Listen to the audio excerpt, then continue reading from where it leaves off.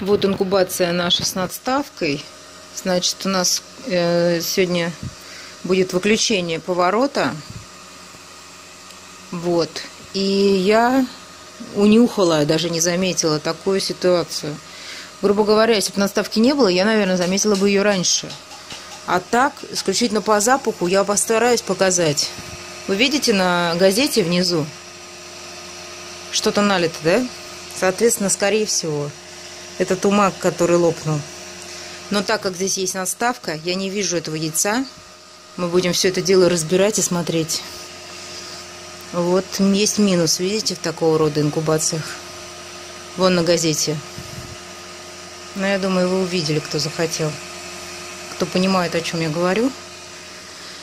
Вот, сегодня воскопирование будем делать последнее. Мы вообще-то на самом деле делаем всегда одно воскопирование, именно вот э, перед включением поворота, и вот, потому что здесь будет все четко и ясно уже, какое яйцо, да, какое нет. Ну вот такой вот у нас, такая вот неприятность. Первый раз за инкубацию. Раньше тумаков у нас не было, не встречали мы. Девятнадцатый день проводим воскопирование вот таким образом быстренько. Достаточно приличное количество. В общем, потом в процентах посчитаю не оплода. Ну, конечно, в пределах нормы, но бывает, что совсем-совсем мало. А сейчас вот есть такое дело. Все, ты все посмотрел? В инкубаторе э, Норма Лупер, значит, с надставкой из 98 яиц 10 неоплод мы вытащили и вытащили один тумак. Ужас какой. В общем, мы сделали авоскопирование на 19 день. Сегодня выключаем поворот. Еще раз, у нас три инкубатора, два из которых с надставками и один без. Мягко говоря, я расстроена, и мы к таким результатам не привыкли, потому что импортное яйцо обычно с гораздо большим и хорошим показателем по оплоду.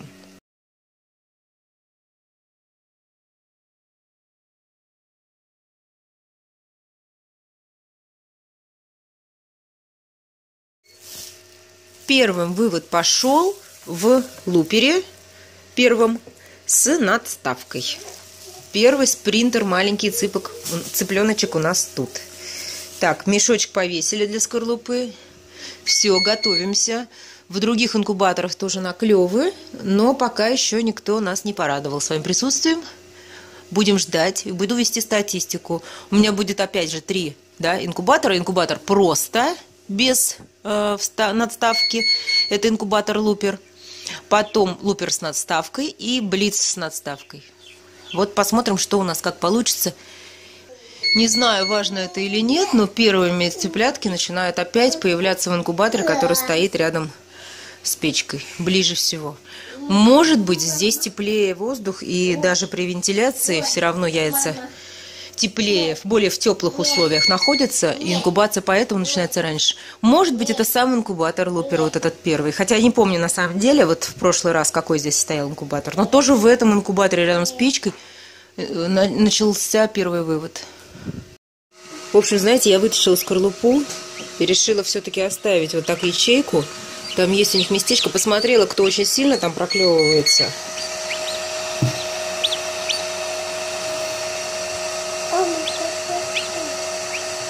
Вот. И решила, что так, наверное, оставлю.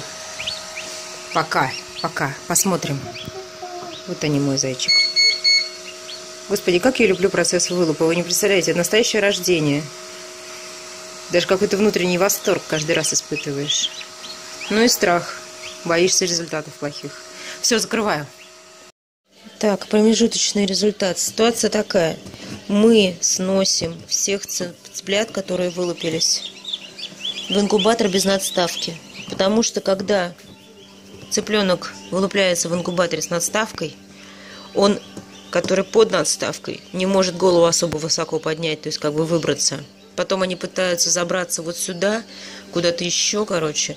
Мы за них без, безумно переживаем, дергаемся. Как только появляется цыпленок в инкубаторе с наставкой, цыпленка надо оттуда забирать, чтобы у вас брудер был на готове, где-то рядом, его сразу туда перебрасывать. Вот, так что вот так, имейте в виду. Потому что это тяжело, когда с надставкой, яиц много, а им не развернуться, не повернуться. Можно больше потерять, чем выиграть. За этим, за этим надо следить. Но, конечно, еще посмотрим на, на результаты, на все. Я записываю. У меня у каждого инкубатора бумажка с ручкой. Посмотрим статистику. Для меня не важно, сколько цыплят в каком инкубаторе сейчас ползают, потому что я буду итог считать по оставшимся яйцам. Понимаете, да? Вот в этом инкубаторе уже один был задохлик. Э, покажу, у меня видео есть. 2 апреля. Инкубация у нас подходит к своему логическому завершению. Инкубатор без надставок. Сейчас я отсюда уже скорлупки позаберу, просто вам показать. Это все. Яйца не перекладывали, пересаживали птенцов поначалу из инкубаторов с надставками в инкубатор без надставок, ну, чтобы им развернуться было где, грубо говоря. Но уже птенцов. С яйцами э, все четко, чтобы потом вам статистику дать хорошую, правильную. Вот. Это то, что осталось в этом инкубаторе с надставкой. Это норма. Это было крупное яйцо у нас. И сейчас третье покажу. Все записываю. Вот здесь три задохлика. Один с кишками и двое не выбрались. Три не выбрались. Один, два, три. Вот, то есть, когда яичко они проклевывают, ну и все, и так на этом задыхаются. И там еще водичка есть какая-то. Я потом покажу, если вспомню. Короче, все записываю. Здесь у меня без проблем пока в, без надставки не было такого. Но нужно учитывать, что здесь 59 яиц лежало, а там 97. Поэтому, скорее всего, может быть, лежало бы здесь 97. Процент бы был, может быть, тоже. Но не знаю, будем смотреть. Хочу напомнить, наверное, мы не говорили об этом, что у нас увеличено проветривание. То есть мы просверлили инкубаторы с надставками. Вот в двух местах вот это два отверстия, да, они просверлены нами для того, чтобы увеличить проветривание. Они просверлены на уровне второго лотка надставки. Второй, вот если надставка стоит, надо бы вам показать, как получается. То это отверстия, которые не упираются в саму надставку, она уже, но и не непосредственно там у ее углов, для того, чтобы немножко рассеивался прохладный воздух, идущий с этих вот отверстий. Вот такие у нас пока результаты.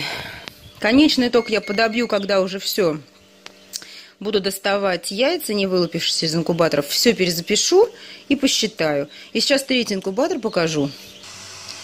Вот он, третий инкубатор. Вот мои зайчики. Тоже сейчас все уберу. Здесь остаются только те, которые ближайшие там полтора часа вылупились. Сейчас они подсохнут, влажность там, видите, большая на крышках. Я стараюсь так просто не хлопать, не щелкать. Мне кажется, все-таки это очень, конечно, вредит. Постоянное вот это вытаскивание. И здесь тоже отверстия, вот они, два. А также, что я еще делала? В этот инкубатор с надставкой я не ставила ванночку дополнительную. В отличие от того инкубатора, в котором стоит ванночка. Второй еще. Почему? Я хочу посмотреть, нужна ли дополнительная ванночка с дополнительным увлажнением, если у вас надставка. Я не уверена, что с одного раза инкубации можно сделать такой вывод. Но, по крайней мере, какой-то вывод уже можно сделать. И потом со временем, складывая эти инкубации еще и еще разочек, по результатам, посмотреть, что получается. Что такое задохлик? Вот видите, он проклюнулся. Там у него как будто жидкость еще осталась. Белок. Процент вывода из оплодотворенного яйца, значит, лупер с надставкой, в котором было среднее яйцо, показал у нас 11,5% э, потерь. То есть это получается 89% вывода. Это хороший очень процент.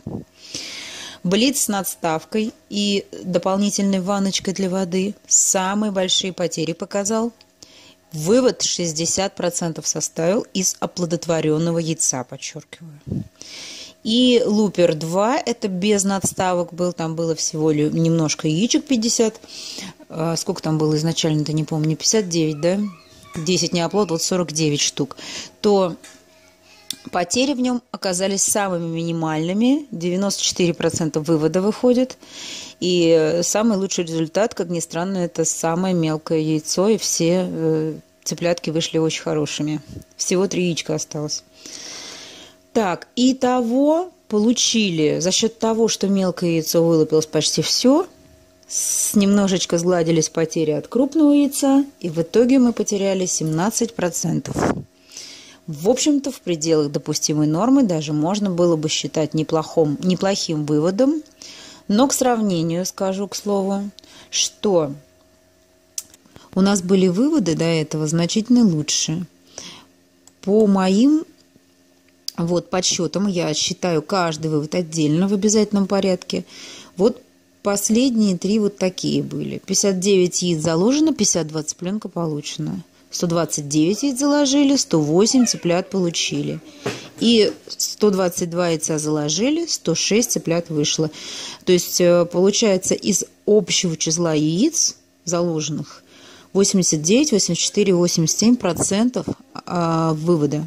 Вот эти результаты меня устраивали. Европейское яйцо. Это здесь пример Коба. Один, по-моему, два, два примера Коба и один пример Россовского яйца. В общем, вот на такой, ой, вот на такой, в общем, результат мы надеялись, конечно же. И если честно, вот оказалось все гораздо печальнее. Потому что из 254 яиц, заложенных нами, мы получили 181 и 181 цыпленка. Это 72% вывод. В общем, этот вывод, он в пределах допустимой нормы, но не является для нас, конечно, хорошим. Вот такая вот ситуация. Сейчас с выводом яйца рост 308, Чехия. И снова же процент не оплода очень высокий. То есть, грубо-то говоря, процент неоплода прямо осек большой процент яиц изначально. И это, это результат отчасти относится и к тому, что яйцо плохого оплода было. И именно крупное яйцо плохого вывода. И, кстати, было яйцо, которое отобрано с тем, что оно не оплод, высушенное. То есть весило оно 44 грамма, я взвешивала, разбивала – в общем-то, там воздушная камера на пол яйца. Это, это значит, что яйцо старое. Потому что у очень старых яиц вот как раз такая и есть гигантская воздушная камера. Обычно инкубационного яйца, так как оно совершенно свежее, воздушная камера очень маленькая. И яичко такое прям все, оно на, на, тяжелое на вес. Вот. А тут получилось, что я, к сожалению, потеряла это видео у меня. Оно с телефона случился глюк, и так получилось, что я не могу вам этого показать. Но яйцо было реально крупное яйцо, особенно, видимо, не очень свежее. Вот. Вот так. Это мое мнение. Ну, в общем, все я вам рассказала. Вам всего доброго и до новых встреч!